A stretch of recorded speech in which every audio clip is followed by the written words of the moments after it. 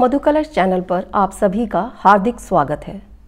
आज मैं लेकर आई हूँ अपने ही कविता संग्रह, आह्वान की एक छोटी सी कविता।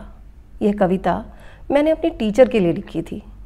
एक ऐसी टीचर जिन्होंने मुझे कभी पढ़ाया नहीं। लेकिन मैंने ज़िंदगी के बहुत सारे लेसन उनसे लिए। मैम, आप जहाँ भी हैं और अगर आप मेरी ये कविता सुन रही हैं तो आप समझ जाएँगी कि यह कविता सिर्फ़ आप ही के लिए है। प्रस्तुत है कविता तुम। बादल में चमकती चंचल बिजली, सागर पर बल खाती लहरों सी हरे हरे कोमल पातों पर ओस की पहली बूंद हो तुम।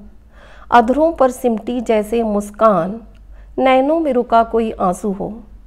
चाहकर भी कोई ना कह पाए, वो अनकही, अनसुनी बात हो तुम। तो आप सुन रहे थे मेरी कविता तुम।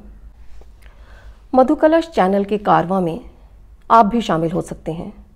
मेरे लघु कथा संग्रह, स्पंदन और कविता संग्रह आह्वान की कविताओं और कहानियों को अपनी आवाज़ दे सकते हैं। कविताएँ और कहानियाँ आपको भेज दी जाएँगी और आप उनकी वीडियोस बनाकर मेल कर सकते हैं।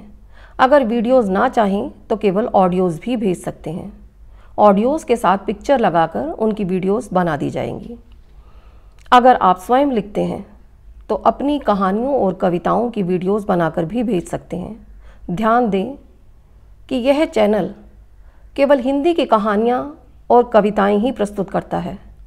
इसलिए आपकी लिखी हुई कहानियाँ और कविताएँ केवल हिंदी भाषा में ही होनी चाहिए। मधु कलश का ईमेल आईडी आप स्क्रीन पर देख रहे हैं। आप इस पर अपनी वीडियोस मेल कर सकते हैं। अगर कुछ अधिक जानकारी चाहिए तो आप कमेंट बॉक्स में अपनी क्वेरीज लिख सकते हैं।